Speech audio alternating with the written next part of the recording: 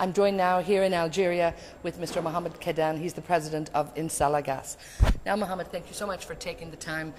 A lot going on, of course, the last few days here, and particularly in Algiers. This must be very important for you. Yes, of course, as you know, uh, Algeria has been the first country in Africa and among the first countries in the world to accept this technology and to test it on its uh, soil by the support of uh, Sonatrach, the national oil company, and uh, our partners from uh, BP also, the, oil British company, and from Statoil. Uh, we are uh, leading this uh, technology that we believe it is an important way or an important option to reduce the emission of CO2 to the atmosphere. So I think the, having this uh, forum here and uh, you know gathering all those people, specialists from the uh, oil industry here, is important for Algeria and allowed us to share the, our experience and the other experiences in the world. Now, this, of course, is the second symposium that the International Energy Forum and the Global CCS Institute have put on. Yes. Do you find bringing, as you said, together all of these people from around the world in different positions, I mean, different organizations, oil companies, um, government representatives, all of that, to share that knowledge? This is the thing that has to go on more and more. You have to see more of this. I think uh, it has to go more and more, and the reason for that, as you know, any new technology or any new thing that you present to people is, you know, people are reluctant, and you need to to to gather the, the specialists to for a sensibilization action. Uh, you know, uh, people cannot accept easily any new technology that come, and you have to convince them. And the only way to convince them is to share the successful uh, uh experiences that happen worldwide, and among them this experience we have in Insala.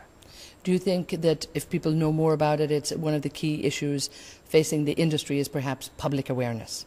Yes, of course. Yeah, I think uh, if people knows more, if people know, know more about not only this technology, but any new technology, this is important to you know, to have the support from all the organizations, including the uh, governmental organizations uh, to support. And of course, the climate change and the environment is now very much on the head of everybody's agenda. And good to see it happening here in a country like Algeria. So, for the region and for emerging economies, developing countries, you're very much leading the way. Yeah, of course. And as you may know, we have no obligation to, to you know, to, read, to be part of the countries who should be involved in those uh, reduction of those emissions.